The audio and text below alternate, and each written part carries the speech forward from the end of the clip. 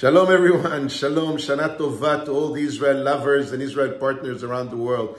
We're just about a month before the Jewish high Holy Days, and we are accelerating our annual fundraiser for all the food packages and food stamps for the families of the Golani Brigade and the lone soldiers.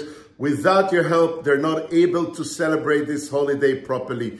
We're trusting you, just like any other year, to be defending the Israeli defenders and be able to step up to the plate and support our amazing help and journey to these families and the soldiers. If you want to help us fill up these boxes, please go to paypal.me forward slash bless Zion. That's right, paypal.me forward slash bless Zion. Thank you.